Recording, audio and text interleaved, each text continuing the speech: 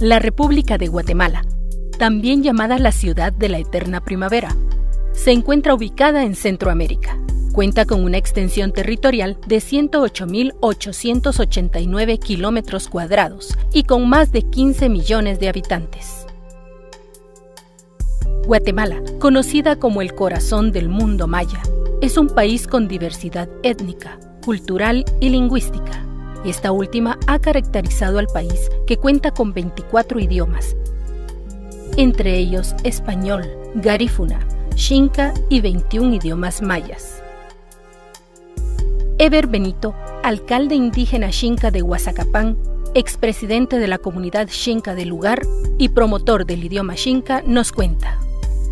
El idioma xinca es un idioma muy separado de los idiomas mayas hay un tronco común de los idiomas mayas y el xinca no viene de, los idiomas mayas, tampoco viene de los idiomas aztecas.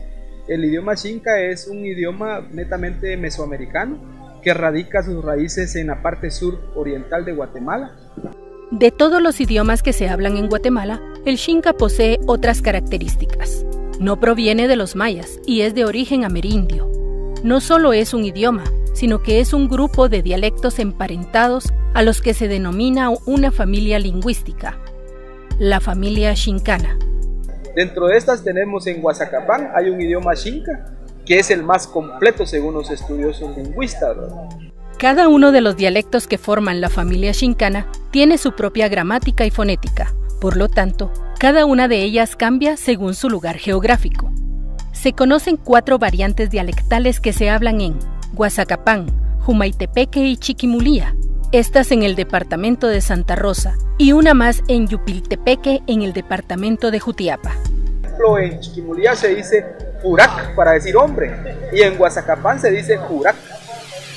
Ah, por ejemplo, nosotros decimos para, para decir buenos días, decimos Shanki Pari, y en Chiquimulía dicen Rajalnampari.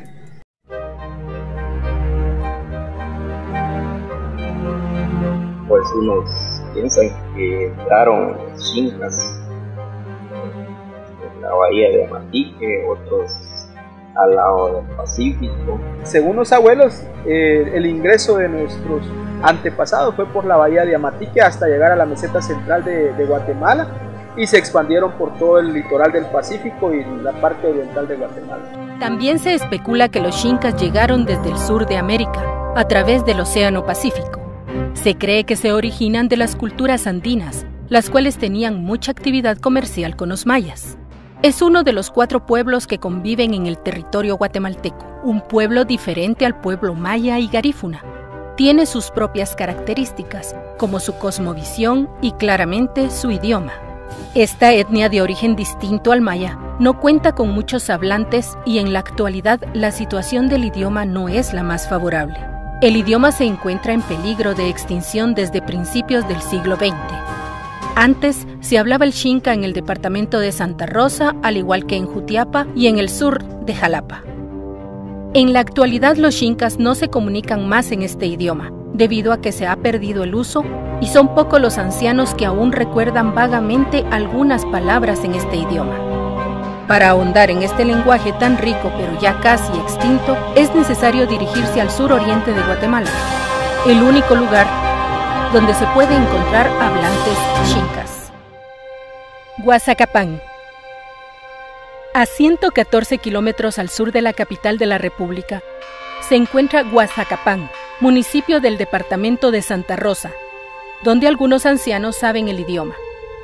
Dar un número exacto de hablantes es difícil, para el 2015 se calcula que el número de semihablantes no supera las 20 personas.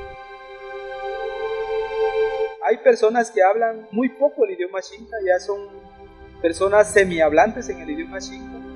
Las personas que hablaban, que yo conocí y que muchas personas conocieron en Huazacapán que hablaban el idioma xinca, se fueron, ya se fueron muriendo por edad. Para poder hablar con uno de los pocos ancianos xinca, hay que dirigirse a la aldea Poza de Agua, a cuatro kilómetros de Huazacapán, donde vive don Gregorio Pérez, quien con 80 años aún recuerda ciertas palabras chincas. Con este coneje, bueno, eso, el chan, el chan es, un chan es que no hay comida. No hay comida. Al igual que don Gregorio Pérez, don Nicolás Vázquez es otro anciano oriundo del lugar. Don Nicolás, con 94 años, aún recuerda cómo aprendió el idioma de sus abuelos. Yo aprendí, pero yo tenía una mi abuelita aquí, la mamá de no, mi papá. Y yo le oía esas palabras, patojo. Y me fueron quedando. Ancianos como don Gregorio y don Nicolás son pocos. La mayor parte de ellos ha muerto y otros ya no tienen la capacidad de expresarse. Los abuelos prácticamente hablantes del idioma ya no hay. Don Guillermo Hurtado falleció el 14 de marzo de 2015, llevándose con él parte de este idioma.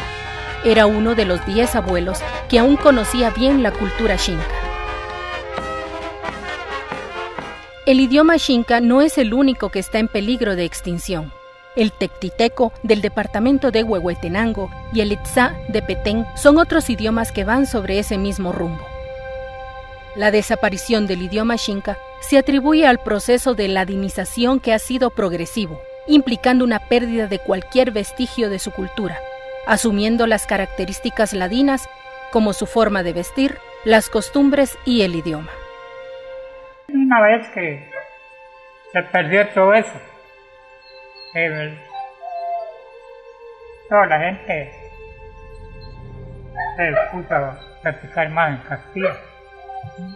Otro factor importante que hizo que los hijos no aprendieran de sus padres el idioma era por los castigos que se daban al ser acusados de insurgentes, lo que llevó a perder la práctica de principios y valores culturales, especialmente en el vestuario y el idioma, para evitar castigos. En, el tiempo de la colonia eh, surgieron varios castigos para los, para los nativos, dentro de ellos estaba el cepo como una como una situación de castigo a aquel, aquella persona que se encontraba hablando el idioma en vías públicas, ¿verdad? Se le ponía el cepo y se le latillaba, o se le llevaba al poste, decían, ¿verdad? Entonces ahí los amarraban y les pegaban si los encontraban hablando el idioma. Ah, que los ponían estado. Estado, ¿verdad? Y les pegaban. Ay, Dios. Se les castigaba de alguna manera con, si se se descubría que ellos estaban hablando el idioma porque los conquistadores creían que estaban confabulando contra ellos, ¿verdad? Posiblemente, esta fue la principal razón para la cual los xincas decidieron dejar a un lado sus costumbres y su idioma. Para tratar de evitar la extinción de este idioma, la sede de la comunidad xinca tiene como objetivo general principalmente es rescate de, la cultura, cultura lo cual encierra el idioma, la astronomía, la espiritualidad, todo lo que se movía aquí en Celefán, ya que tenemos la dicha de, pertenecer a un pueblo donde se dice que es una de la cultura cinca. A pesar de la poca información que se tiene de la estructura gramatical de este idioma, ya se ha iniciado el fortalecimiento por parte de la comunidad xinca Hemos trabajado mucho durante 15 años en la investigación lingüística, como también en la implementación de mecanismos para, para revalorizar el idioma. En conclusión, solo el interés de la comunidad xinca no es suficiente para poder preservar esta cultura y su idioma. Es necesario que las autoridades y la sociedad guatemalteca muestren más interés y hagan una promoción de los idiomas que se hablan en el país y así evitar que Guatemala pierda la riqueza cultural que tanto la caracteriza.